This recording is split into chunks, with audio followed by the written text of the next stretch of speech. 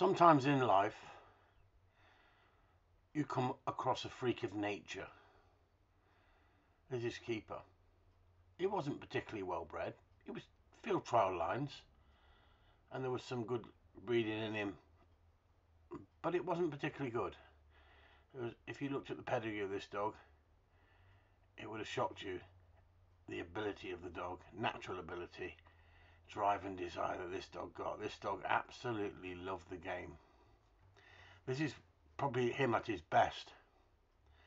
At this point, he hadn't lost his eyesight in one eye, and him and me were going to take this to a next level in competition. Unfortunately, he put a blackthorn into his eye, smacking into cover after a runner come out, and he had a blackthorn sticking out of his eye. Still got the bird in his in his mouth, but the determination that dog would hit cover, suicidal, and the dog was so driven. It was a pleasure to train. But trust me, he was headstrong, very headstrong, and we fought like cat and dog in the training. And when I say we fought like cat and dog, I had to give this boy some discipline, trust me, because he was too driven. And when I say too driven, how can a dog be so too driven? Well, what happened is he belonged to an A panel judge who let him get on rabbits too soon.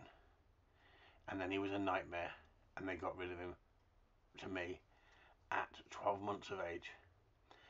And they bred him but he was too much of a gladiator for them. They'd created a monster, and I had to bring the monster back into under control. And yet, he turned into the most beautiful, beautiful dog.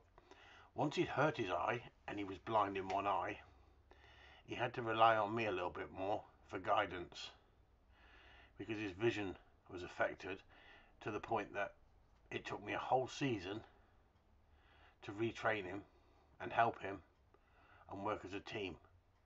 But by God, this boy was fantastic. And like I say, you might go a whole lifetime without a dog, getting a dog like this. Or you might be lucky and you get a dog like this in your lifetime and he teaches you so much. This dog could do the job of 10 dogs. Simple as that.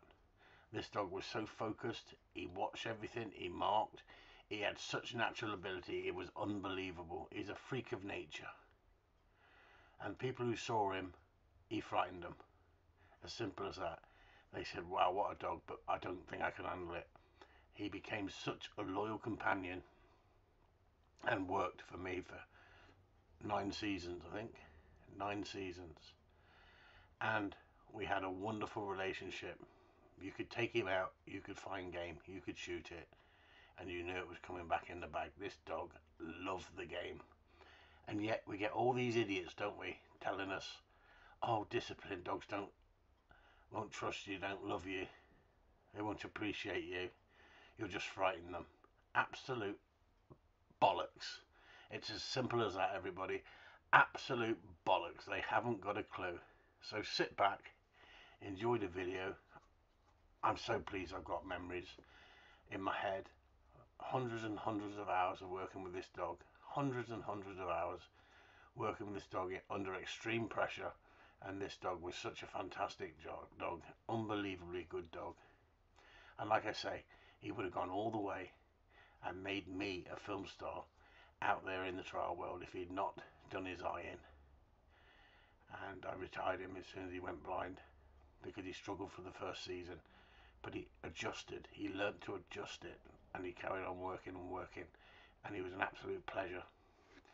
So if you've got a dog that you're struggling with, don't give it on it give it time.